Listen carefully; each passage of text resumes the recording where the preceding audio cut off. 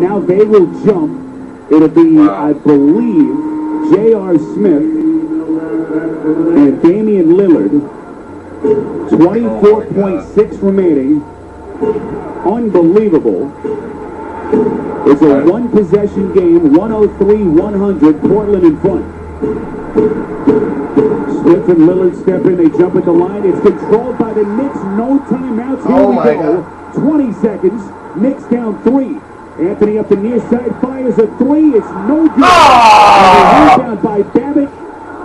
And a foul charge to the Knicks. Oh. And that will do it.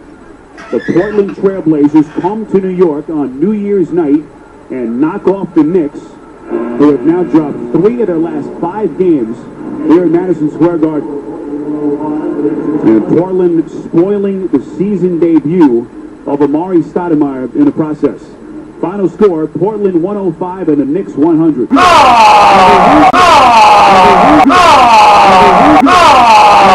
Oh. Oh. Oh.